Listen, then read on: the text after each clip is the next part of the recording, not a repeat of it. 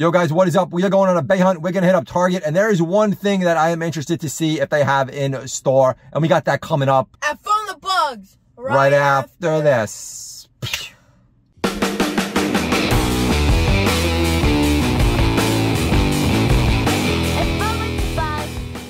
Yo, dude, so the last time we were at Target, it was a disaster, right? Mm-hmm. They had like, absolutely nothing.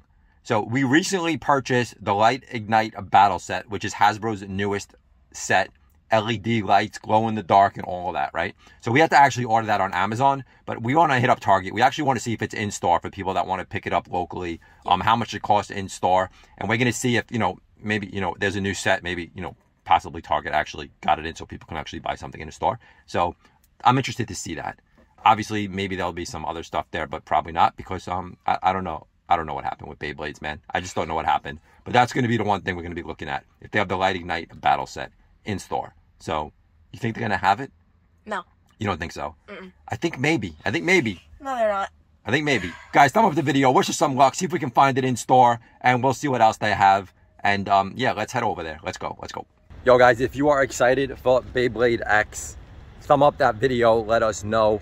But we are at Target, so let's go check it out. Hopefully they got something, like I said, we're looking to see if they have the light, the light ignite battle set in stock at Target to pick up. Um, we did a review of it. We actually, like I said, we ordered it from Amazon, but I'm curious to see if you can actually buy this thing in stores because buying anything for Beyblade in stores has been pretty rough. So, so it's always like, you got to go online, but let's go check it out.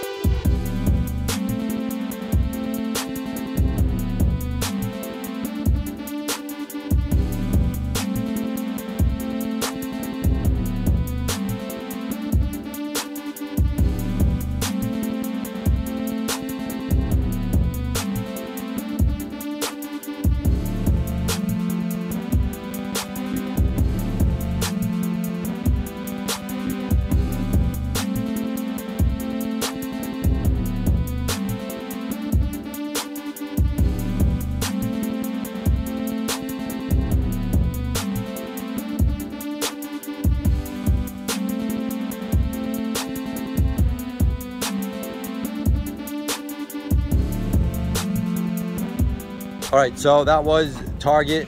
Of, we're gonna call it a failure because we were looking for the Light Ignite battle set, which they did not have. They had every set that they always have.